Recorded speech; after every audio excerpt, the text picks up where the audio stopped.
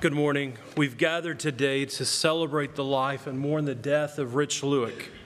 We've also gathered as an expression of our faith in God who loves us, who loves Rich, and provides salvation for all who trust in him. This is the word of God from Psalm 103. As a father has compassion on his children, so the Lord has compassion on those who fear him. For he knows how we are formed. He remembers that we are dust. The life of mortals is like grass, they flourish like a flower of the field. The wind blows over it, and it is gone, and its place remembers it no more. But from everlasting to everlasting, the Lord's love is with those who fear him, and his righteousness with their children's children, with those who keep his covenant and remember to obey his precepts. The Lord has established his throne in heaven, and his kingdom rules over all. Let's pray. We remember today, O Lord, that we are but dust, and that our lives are like a vapor that lasts for a moment and then is gone. Though we are fleeting, you have great, infinite love for us. How wonderful is your compassion and mercy toward us. Who are we that you would be so mindful of us? Today, as we mourn the death of a loved one, we pray that your love would surround us and give us comfort, that you would draw us close to yourself, and that we would have hope and peace through the grace of your Son, Jesus Christ, our Savior and Lord. We pray in his name. Amen. In her poem, Bessie Stanley answered the question What makes a man a success? She writes, That man is a success who has lived well and laughed often and loved much, who has gained the respect of intelligent men and the love of children, who has filled his niche and accomplished his task, who leaves the world better than he found it, whether by an improved poppy, a perfect poem, or a rescued soul, who never lacked appreciation of earth's beauty or failed to express it, who looked for the best in others and gave the best he had. I think that's a pretty good summary of Rich Luick's life. From the world standpoint, he isn't lauded for his intellect or mental prowess or accomplishments. Many in the world aren't paying attention.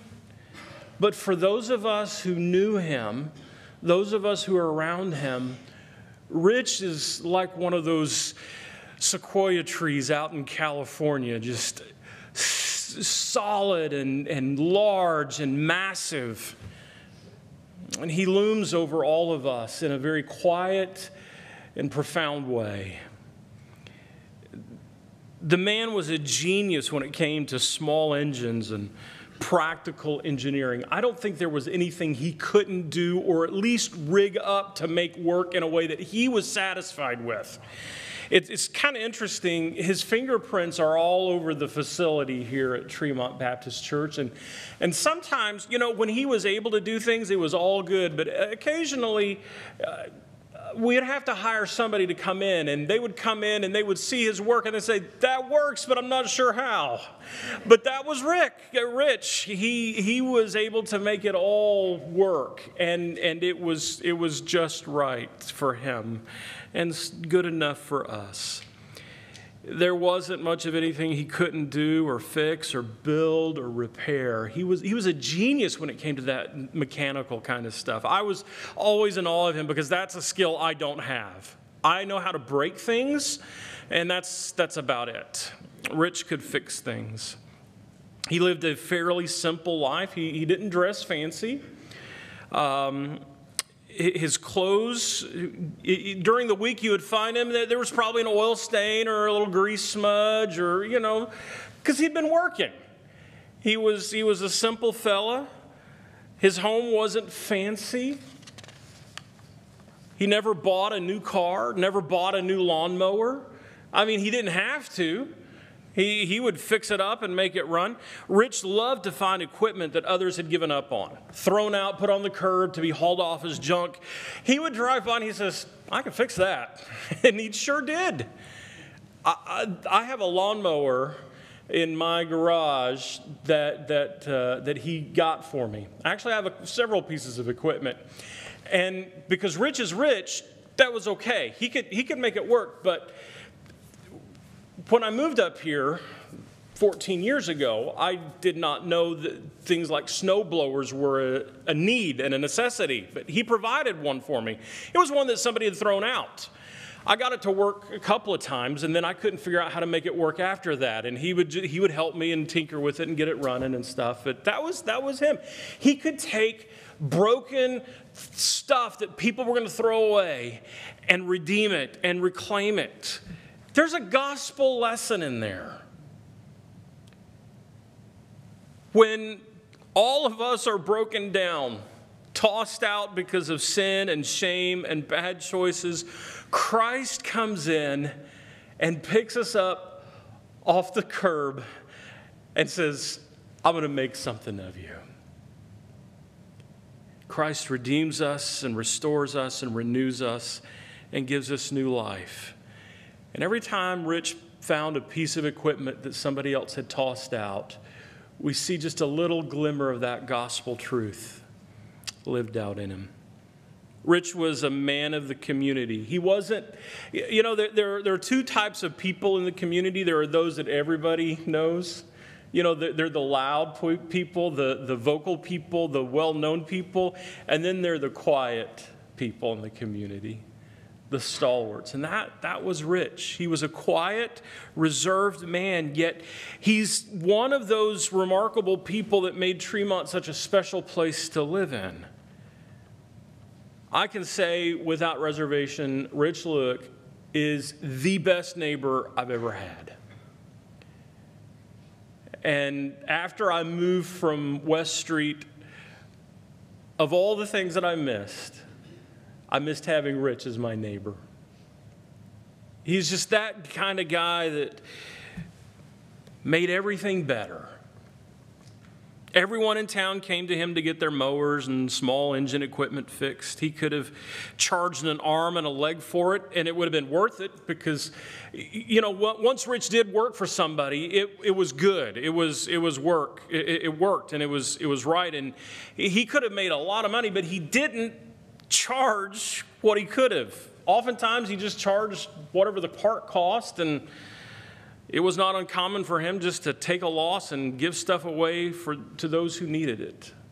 He was a very generous and giving man. He had more tools and nuts and bolts than Menards. And if you needed any of it, it was yours. He loaned whatever he had. I would call him up and say, Rich, I, I need a chainsaw. He says, I've got five. Which one do you want? You know, Rich, I need a hammer. Well, here's the drawer. And uh, he had all of those things.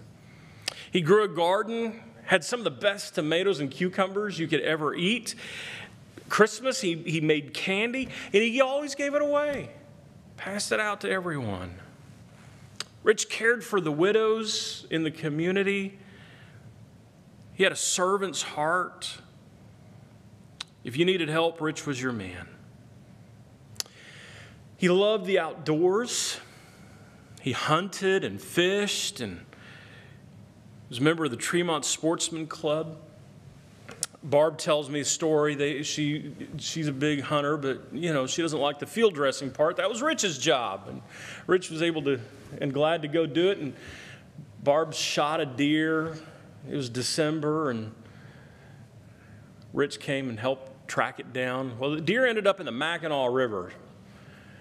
So Rich, uh, Rich didn't want to go off on somebody else's property, so he just waited out in the river in, the, in December. roped that deer and drug it up. Later, he told her, I was glad I, I, I relieved myself before I came out here. And uh, he, was, he was happy that, to help, happy to be done with all of that, but he would do whatever. He never complained.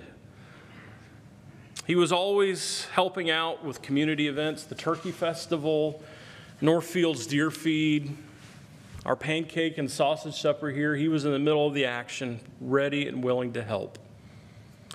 Rich was a church man.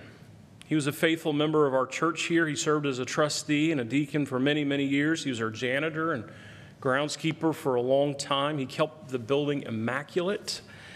After I arrived at the church, he, I, um, I, I, once made the mistake of not getting the temperature adjusted right. And, and I, I've learned that you're not going to make everybody happy, so just do whatever you're going to do. But Rich, Rich told me the clue. He, said whenever he was in charge of it, there were, there were always two ladies. They sat on opposite sides of the church when one put on a sweater and the other started fanning herself, he knew he had the right temperature, and that was how he set the gauge.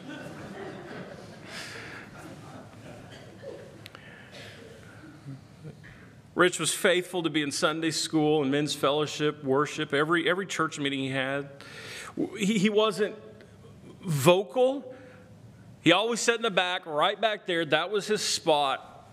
But he was always attentive, he was committed, he was faithful. He read his Bible daily. He read the Living Bible, and he used the daily bread devotional faithfully. He had a simple faith he believed the Bible, he trusted Jesus, and he lived out his Christian faith day by day. He was a family man. Rich was kind and gentle and compassionate. He was what I've heard described as velvet covered steel, very strong, resilient but soft and gentle. He was not a weak man, but he had a tender, compassionate heart. He wasn't afraid to shed a tear or two. His kindness and gentleness was always evident, but especially when it came to his dear wife, Joanne. Joanne had been in frail health for many years before I arrived in Tremont, and Rich was very dutiful and faithful to care for her. He never complained, never grumbled, at least in my hearing, about caring for her. He loved his wife. He took very good care of her. He did his very best to set a godly example and noble example for his sons and later his granddaughters, and after that, his, his great grandkids and his entire family.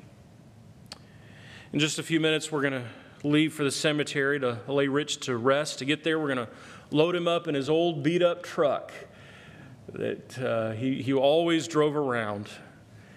It's probably held together by duct tape and putty and wire and mismatched parts. Uh, when he lifted the back, he had to pull out an old stick to hold to keep it propped up, but that was good enough for him. Someone who, who, who doesn't know would be tempted to look at that and think, oh, that, he must have been a really poor man. How wrong they would be. Rich Luick is one of the most successful, one of the wealthiest men I've ever known. Not materially, but he was rich in faith. He was rich in love. He was rich in hope. And that, that's what makes a life. Not all the stuff. It's loving your family, loving your neighbors, loving the Lord. He lived a simple life free of greed and covetousness. He was content. He was humble, kind, generous. He was a great man, one of the most successful men I've ever known. I want to be more like Rich. There's a lot of things about him that I greatly admire. Certainly, as we remember his life, as we mourn his death, you might be tempted to think that, that Rich was one of the good guys. And of all the people, certainly he, he is in heaven today because he's so good. Certainly, Rich was good, but friends, he was not good enough. The Bible says in Matthew 6 to be perfect just as your Father in heaven is perfect. I'm sure that John and Rick could, could give testimony that their dad was not perfect. They could certainly give testimony that they weren't perfect. And they pushed his buttons a few times. There may have been an occasion where, where dad had to chase Rick around the dining room table after, after Rick learned a word he wasn't supposed to and kept repeating it. Rich was not a perfect man. He was good but not perfect. And the Bible tells us that there is none righteous. And all of us have sinned, and that includes rich. And sin separates us from God. All of us have sinned. But the good news of the gospel is that God loves sinners. Romans 5 8 says that God demonstrates his love for us in that while we were sinners, Christ died for us. Rich was a sinner in the eyes of God. We all are. When we compare ourselves to each other, we might feel pretty good. I look at Rich and think, ah, man, I'm not, I'm not a very good person. But then I look at somebody else, I think, well, I'm a lot better than that fellow over there. And when we compare ourselves to one another, we might think that we are okay. But when we care, compare ourselves to the perfect standard of holy God, we realize that all of us are in desperate trouble. We fall short of the glory of God. But that's why Jesus came to die in our place. The Bible tells us in John 3:16 that God so loved the world, and that includes you and Rich, all of us. God loved the world so much. He loved people so much that he gave his one and only son who died on the cross so that whoever believes in him will not perish but have everlasting life. Friends, God loves you and He wants to save you from your sin. He wants to give you hope and peace and eternal life. And today you can receive God's free gift of salvation by trusting in Jesus alone as your Savior and Lord. Romans 10 9 says that if you confess with your mouth Jesus is Lord and believe in your heart that God has raised him from the dead, you will be saved. Rich and I talked about his faith in the Lord on several occasions. He wasn't a trained theologian, he wasn't versed in philosophy or the field of metaphysics or any of that kind of stuff. But Rich knew and believed the simple truth Jesus loves me, this I know, for the Bible tells me so. That was Rich's faith. And his great desire was for each and every one of you to share in that faith to trust Christ, confessing Him as Savior and Lord, and receive that free gift of salvation and the hope of heaven. Rich knew he was a sinner, so he trusted in Jesus to save him. He read and he believed the Bible, and by God's grace, he lived out his faith in the simple, ordinary ways of everyday Christian living. He may not be recognized as a successful man in the eyes of the world, but I believe last Sunday he heard God say, Well done, good and faithful servant, because he was faithful to his God to the very end. Richard Luick was born March 11, 1931, to Henry and Elizabeth Luick in Hopedale Township. He married the love of his wife, Joanne, on June 6, 1948, in Davenport, Iowa. God blessed them with two sons, John and Rick. They're survived along with Rick's wife, Barb. Also surviving are three grandchildren Rhonda Street of Blair, Nebraska, Kim and Dennis Herskine of Bellevue, Nebraska, Janetta and Tim Conley of Princeville, numerous great and great grandchildren survived also by niece Nancy and a host of dear friends. Preceding him in death was his brother John, three sisters Mildred Shooter, Eleanor Fowler, and Alice Hazelman, his daughter in law Terry Luick, grandson in law Bill Street, and grandson Sean Flower. Rich Luick entered his ended his eternal pilgrimage his earthly pilgrimage, April 16, 1923, at Timber Creek Health and Rehabilitation Center in Pekin at the age of 92. Precious in the sight of the Lord is the death of his saints. Then I heard a voice from heaven say, Write this Blessed are the dead who die in the Lord from now on. Yes, says the Spirit, they will rest from their labor, for their deeds will follow them. Let's pray. We're thankful to you, day Father, for our beloved brother in Christ, Rich Luick. The wonderful testimony that he had, the marvelous example that he set. Most of all, for the grace that you poured out upon him and the grace that you've poured out upon us through him. We miss him and we're going to miss him in the days to come. But I pray that as we mourn, we would hold on to the hope, the hope of eternal life, and the confidence of the resurrection to come. Bless and keep this dear family and this company of friends. In Jesus' name, amen.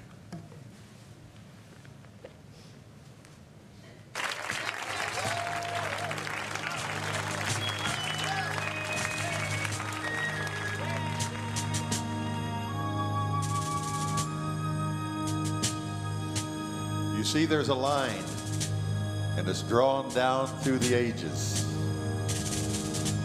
And on this line, there stands an old rugged cross. On a cross, there's a battle. It's raging.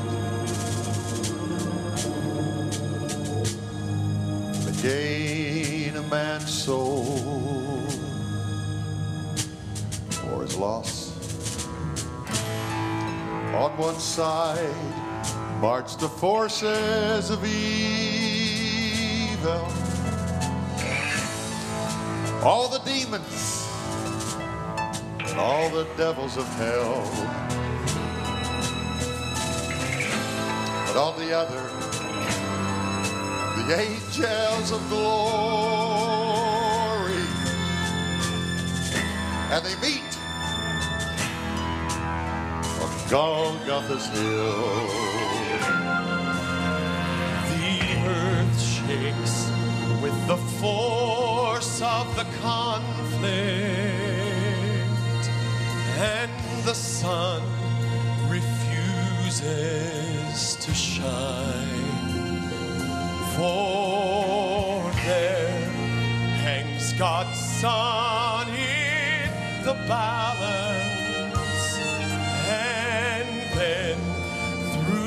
the darkness he cried.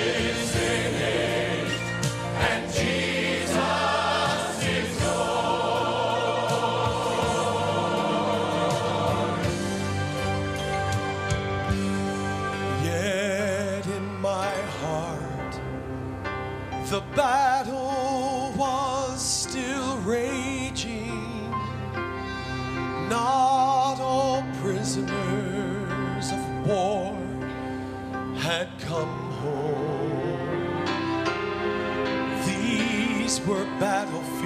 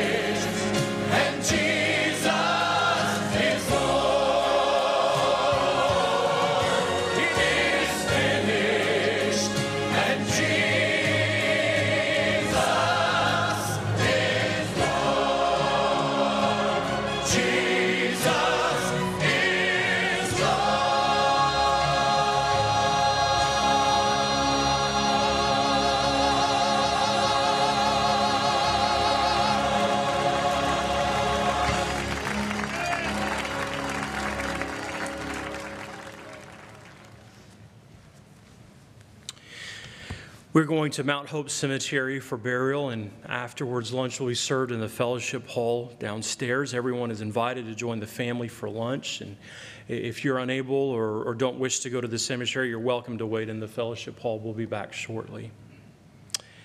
May the Lord bless and keep you. The Lord make his face to shine upon you and be gracious to you. The Lord turn his face toward you and give you peace.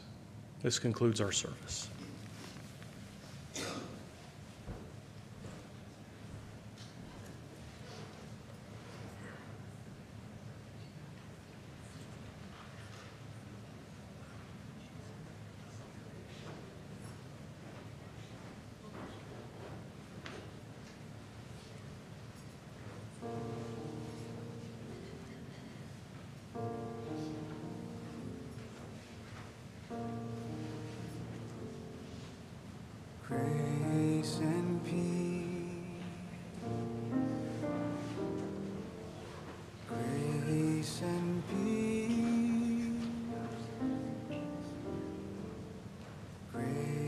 And